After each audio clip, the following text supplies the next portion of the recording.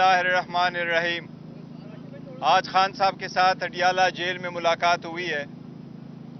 آج روٹین کے مطابق وہ سیاسی بنیادوں پہ ایک بوگس کیس القادر والا چل رہا ہے، جس میں پراسیکیوشن دڑا دڑ اپنے ایویڈنس ریکارڈ کرا رہی ہے۔ اور آج کے بعد ہیئرنگ فرائیڈے کے لیے ایڈجن ہو چکی ہے۔ آج میڈیا کو بھی ساری کوریج سے روکا گیا تھا۔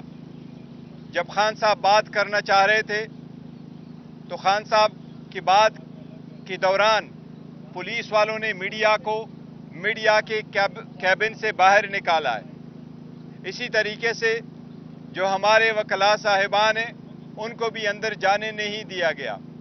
سو مچ سو انتظار پنجوتا صاحب، جو خان صاحب کے فوکل پرسن میں سے ہے ان کو بھی آج اندر جانے کی اجازت نہیں دی گئی تھی۔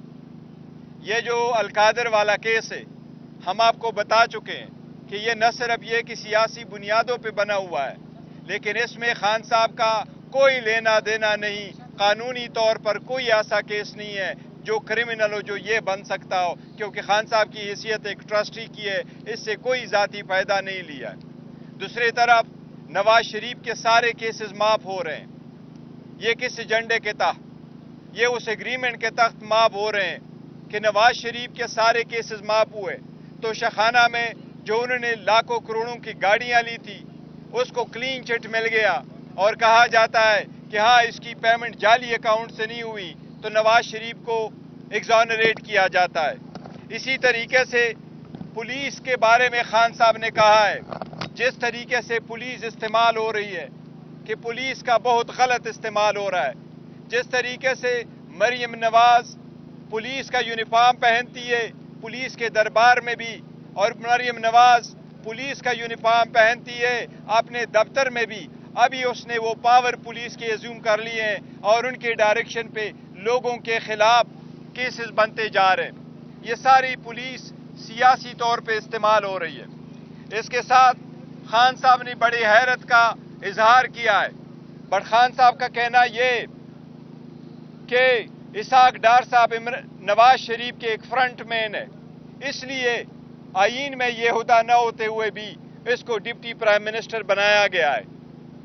ایسا کوئی عہدہ آئین میں نہیں ہے۔ پہلے اگر کسی نے غلط کیا تو اس کا مطلب یہ نہیں ہے غلطی کو دہرایا جائے۔ یہ صرف اپنے فرنٹ مین کو اس پوزیشن پہ رکھنے کے لیے دیا گیا ہے تاکہ اوپر سے آرڈر نواز شریف کے ہو اور چلاتا کوئی اور ہے۔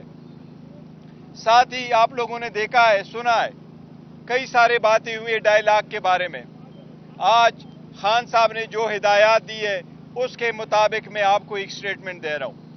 کسی بھی ڈائلاگ کے بارے میں، کسی بھی ادارے سے، پارٹی کے کسی کینڈیڈیٹ نمائندے کے پاس کوئی اختیار نہیں ہے کہ کوئی بات کرے۔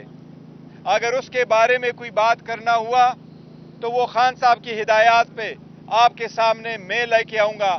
یا بانی چیئرمین انشاءاللہ تعالی خان صاحب آپ کو خود جیل میں بتائیں گے۔ کوئی ہمارا ڈائلاگ کسی کے ساتھ نہیں ہو رہی۔ میں پہلے بھی خان صاحب کا میسج آپ کو دے چکا ہوں کہ ہماری کوئی ڈائلاگ بیک ڈور نہیں ہو رہی۔ ہمارا کوئی ٹائم فریم نہیں ہے ڈائلاگ کے لیے۔ ہم نے کوئی کسی کے ساتھ شیڈول نہیں کیا ہے۔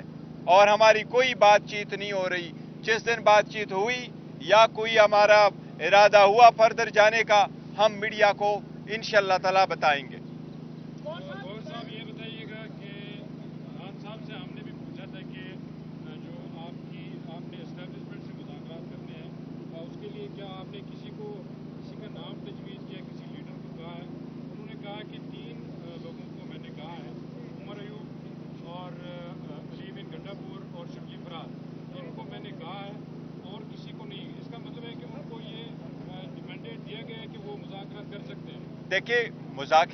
ہو نہیں رہے مینڈیٹ ضرور ہیں پارٹی کے ساتھ مینڈیٹ الگ بات ہے لیکن یہ بات ہوئی ہے جو خان صاحب کا پیغام میں آپ کو دے رہا ہوں کوئی بات چیت نہیں ہو رہی یہ میں کہہ رہا ہوں۔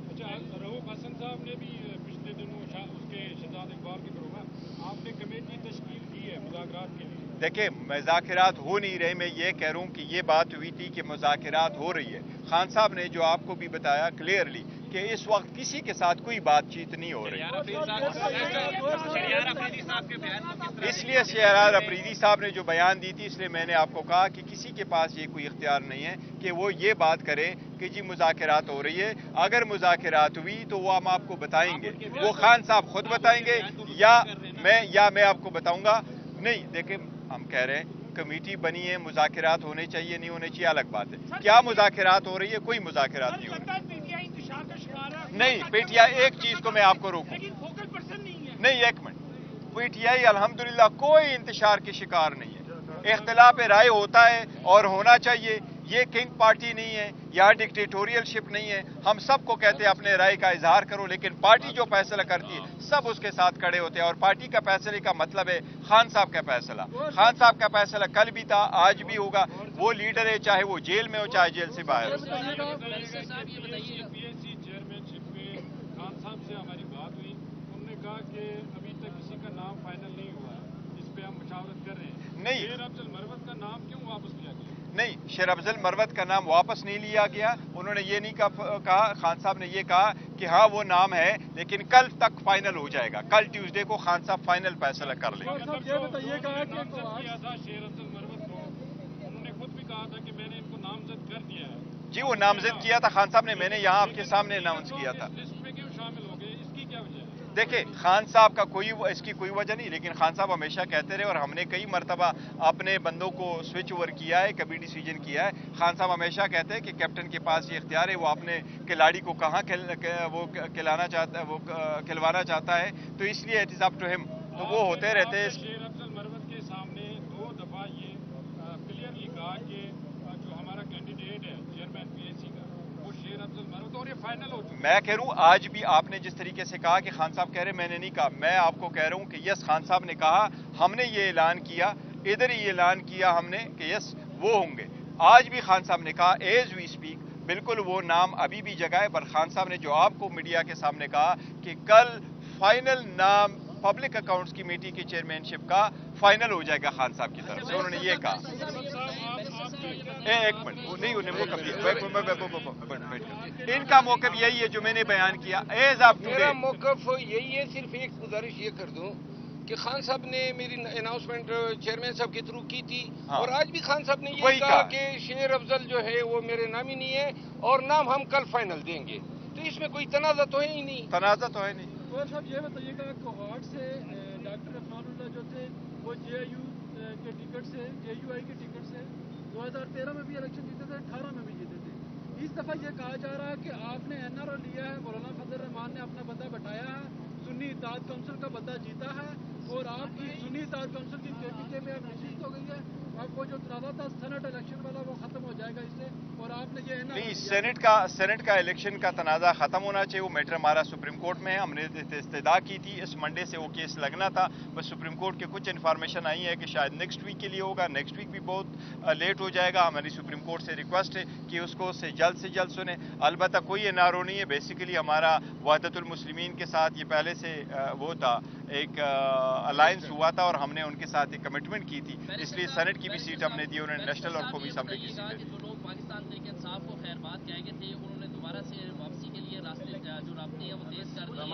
آپ اپنی پالیسی کے اوپر اسٹینڈ کریں گے یا واپسی کے کوئی دروازے ان کے لیے دوبارہ کھلیں گے؟ اس کے بارے میں ہم نے ایک پالیسی سٹیٹمنٹ الیکشن سے پہلے بھی دیا تھا الیکشن کے بعد بھی دیا اور آج بھی وہی پالیسی سٹیٹمنٹ ہے۔ اور وہ یہی ہے کہ جو لوگ پارٹی سے جا چکے ہیں بہت اچھے اچھے دوست ہیں ہمارے وہ چلے گئے فار وٹ ایور ریزن کوئی جلدی چلے گئے کوئی بعد میں چلے گئے پہ کم پریشر پڑا کچھ پہ زیادہ پریشر پڑا ان کی واپسی کا فیصلہ؟ خان صاحب جیسے چاہیں گے کریں گے کسی اور کے پاس کوئی اختیار نہیں ہے کہ کون پارٹی میں کب واپس آ جائے۔ خان صاحب جو پبلک ہے اس کے ووٹر سپورٹر پارٹی کا ورکر ہے ان کے سینٹیمنٹ کو بھی دیکھ رہے ہیں لیکن یہ سارے فیصلے خان صاحب خود کریں گے اور اکیلے کریں گے۔ اچھا، نہیں۔ نہیں نہیں فضل الرحمان صاحب سر یہ بتائیے گا کہ ایک طرف آپ کی کمیٹی ہے ملاقاتی کمیٹی جو بن چکی ہے ملاقات کب شروع ہوئی کیسے شروع ہوئی یہ بات بتا رہے ہیں دوسری طرف آپ کے ایک وزیر کے پی کے جس اس طرح کی اسٹیٹمنٹ دے رہے ہیں کہ وفاق پہ چڑھائی کی اور وفاق پہ قبضے کی مجھے یہ بتائیں کہ آپ کی ایک طرف حکومت کی سیاست چل رہی ہے ایک طرف آپ مذاکرات ہم آپ کو پہلے بھی کر چکے ہیں کہ دیکھو یہ مزاحمت نہیں ہم جو بھی کر رہے ہیں ہم اپنے حقوق کی جنگ لڑ رہے ہیں۔ اور اپنے حقوق کے لیے اگر ہم احتجاج کرتے ہیں ان کو یہ مزاحمت سمجھتے ہیں یہ ان کی مرضی ہے۔ دوسری بات ہے کہ وزیر اعلیٰ نے یہ نہیں کہا کہ ہم وفاقی حکومت پہ چڑھائی کریں گے۔ انہوں نے یہ کہا تھا کہ ہمارے ساتھ اگر زیادتیاں ہوگی خان صاحب ریان ہوں گے اگر کے پی کے وہاں سے اٹھ کے کھڑا ہوگا تو یہ پولیٹیکل ہے۔ اور انہوں نے جو جو الفاظ استعمال کیے انہوں نے اس تناظر میں پیش کیے تھے۔ آخری سوال ہوگا، جی۔ خان صاحب نے ایک مرتبہ پھر اہ، افواج پاکستان کی اہ، جو قیادت ہے ان کا نام لیا ان پہ چڑھائی کی حالانکہ اپنے دور میں وہ انہی اداروں کو ڈیفینڈ کرتے تھے اور قوانین بنواتے تھے پارلیمنٹ سے کہ جو ان اداروں کے خلاف بولے گا اتنے سال جیل اتنی سزائیں ہوں گی۔ دیکھیے، یہ خان صاحب- اداروں کو نہیں دیکھو خان صاحب بارہا کہہ چکے ہیں پاکستان بھی ہمارا ہے ملک بھی ہمارا ہے فوج بھی ہماری ہے اور وہی پی ٹی آئی کی policy thank you so very much Thank you.